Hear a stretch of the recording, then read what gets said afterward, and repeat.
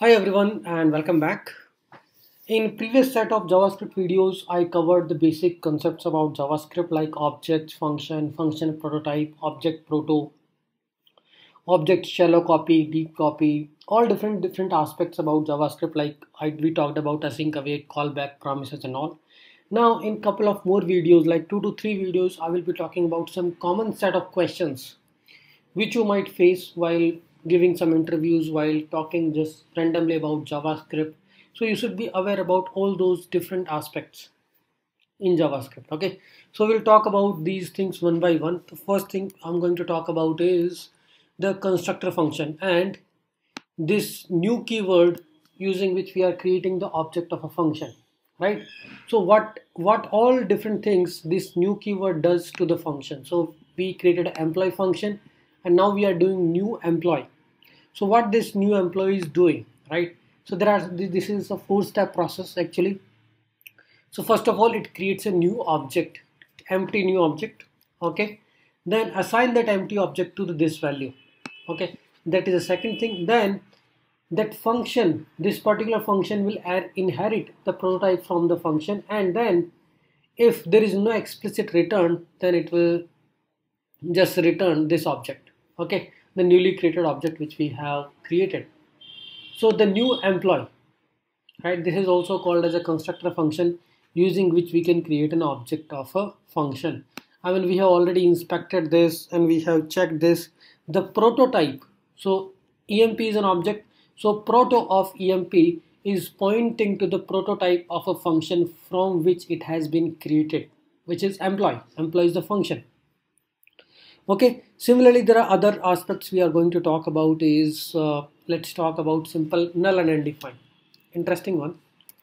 So null and undefined. Okay what do you get when you do a type of null? Always remember that it is going to be object. Null is considered in javascript as an object and undefined type of undefined is always undefined. Similarly, when you do type of array, what do you think? It is also an object. All the array are nothing but an object where key is the index of an array and value is the index value. So if you just talk about const x, this is also an object. What it is having, it is nothing but uh, having a key value pair like at the zeroth index I have the value 1 and at first index I have the value 2 something like this right? So when you do the type of x it will also come as an object. So we have other primitives also like boolean number uh, string undefined object symbol and all okay? Now uh, next thing we can talk about is sometimes uh, in interview they will ask you to write a memoized function okay? From there they will test your concepts about closure concepts about curry functions and all so if we just try to talk about simple memoized function, we can write it. So function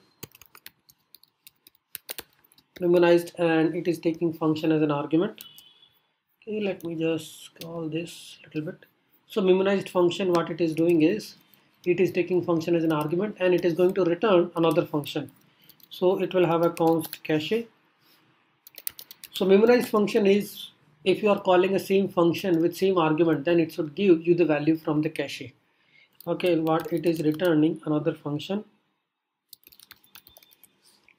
And it is having params so you will understand also the concepts of closure because function is returning another function here. So here we will check if this cache has that params already there then return it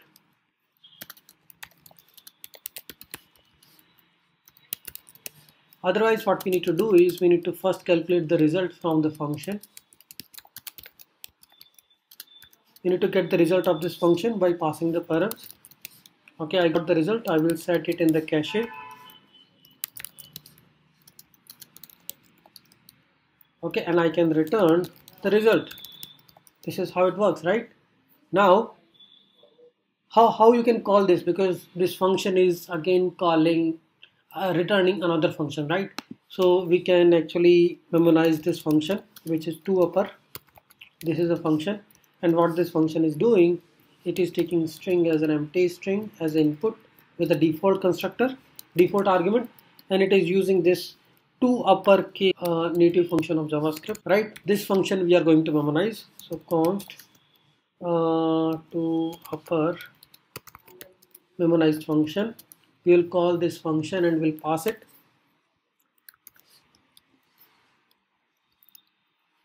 To upper right? We got something. To upper is again a function because this function memoized function is returning another function. So we can call it again by passing the param parameters. So abc right? It will return in abc right? Now you can if you are passing the same argument then it will get it from cache it will not evaluate it again. Right? So this function is returning another function. This is same as uh, I mean if you have seen this kind of example const add which is accepting argument a and it is returning another function which is taking function b as an argument and it is returning a plus b. A simple closure example right and how you will call it you will call it twice or you will assign it to some variable and then call it again right Similarly here, this function is returning another function. So memoized we called, we got this to upper memorized function and then we are calling it. So here we are passing function and here we are passing the argument. So once you are calling it for the first time, this function is stored inside the closure of the inner function. That's why you are able to call it. Otherwise function would have been undefined, right? But the function, which is a argument passed in the outer function is stored inside the closure of the inner function. Okay from this lot of concepts are getting reflected when you talk about it. Now next thing we can talk about is different ways of invoking a function or a declaring a function. You might have seen these kind of examples like function you can simply create function hello right and then you can also assign it to some expression const x equal to function. You can use arrow function also which is pretty much simple. Right uh, it is just you just pass the same value and same value are returning. Right so now another thing which we'll talk about is invoke uh, the context of this in the functions while calling it in the different approaches right? Invocation as a function. So simply if you just try to put a function something like this and here you are doing console.log what do you think what is the value of this here when you are calling this? Hello. It is going to point to the window object right? And even if you just change this function to something different const object okay here I have a const object. And here I have some method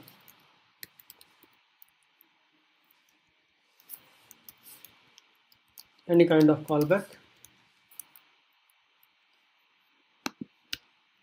Okay and now you are calling this method o dot method. This is a callback function. So we are writing it something like this. And here if you put console.log this this is also pointing to window object. So how we can override the definition of this object inside a function that we will take a look into this example. Okay. So there are many ways of writing a function or calling a function using function as an expression or function can return another function function can take function as an argument right? That is a callback function. Now if we just talk about uh, a simple example where we try to override the function definition using object. Like we have a const details. Here you can see I have a property name. Okay here I have a get name function. Function can be written simply like this. And here if I do console.log this simply this. And if you just try to do console.log this dot name so what value we are going to get when I'm trying to do details dot get name? Here this will point to this current object. Okay? Details dot get name you are calling. So whatever you are trying to print this this will point to this object. Okay? So here this dot get name details dot get name in this function definition this will point to this object right? So here it is not pointing the window object which we were seeing earlier in the simple function example now we are also invoking function as a expression like using new constructor that we have already seen. Like if you are executing a function you have written a simple employee function. Okay? Simple employee function and what it is doing is if you just see this in this and you are trying to create an object of this function then how this object behaves right it is creating the empty object and assigning the empty object to this keyword and this will become an uh, empty object. So this is how we are overriding this context. Earlier it was pointing to the window object but you are creating the new employee function. Then it is creating the new empty object and it will assign that empty object to this context. So this dot name and all these values will be assigned right? And then this object will be returned from this function right? This is a simple way where you are creating the object and trying to return that now another thing is you might have heard about call apply bind okay so what we do in call apply bind signature is we try to override the context of this object in our functions. So if you just see, I have a const obj1 and here I put result as 0. Okay, I have a const obj2 and here also I put result equal to 0, right? Now I have written one function reduce add. I'm not going to use reduce function. Array dot reduce but like let's say I have a let result equal to initially 0 and I'm getting some kind of argument. So I will just iterate onto it. Let i is 0 i is less than argument dot i is 0 i is less than arguments dot length. Okay i plus plus. Now what we are doing inside it is result plus equal to uh, arguments arguments of i. So this is how we are adding all the arguments inside an array. Okay and we can say this dot result equal to result. So what we are doing in this when you call this reduce add function what we are doing is we are just calculating the arguments like you are passing some arguments here. All these are passed as arguments array. Arguments dot length will be the length of this. This will be treated as an array. This is native to javascript and we are calculating the result. And we are setting this result into the global object. So here this is pointing to window object okay how can i how can i override I don't want it to just set this in the window object. I wanted to set it on my own personal object. So how can I do this? I can use the call apply bind. So what I can do reduce add dot call and I will just okay I want to override this object with object 1 so I will set object 1 okay just trying to get some space object 1 and here I'm passing all the arguments. Right? So in that case this dot result will point to the object one and here we are going to set the object one dot result on this particular line. Similarly call apply is also there. Apply in this the only difference is it is going to you can pass multiple argument in an array. Okay? So this is what we are sending. So in this if we are setting object 2 it means you are going to set the result property of object 2 in this example. Okay so these are the different ways of uh, doing the invocation. And uh, we can also talk about the hoisting uh, hoisting of variables in javascript which is also important aspect. Like here you have declared for x equal to 90 and you have created a function here if you are doing console.log uh, x and in the bottom somewhere you have declared x equal to 80 right so what do you think x will be? According to you it should be 90 no it's undefined. And why? Because the definition of x is hoisted to the top of the function here. Now this function knows that I have x defined somewhere but I don't have value yet so it will just return undefined right? So this is called hoisting of uh, the variables. Similarly the hoisting of functions also there.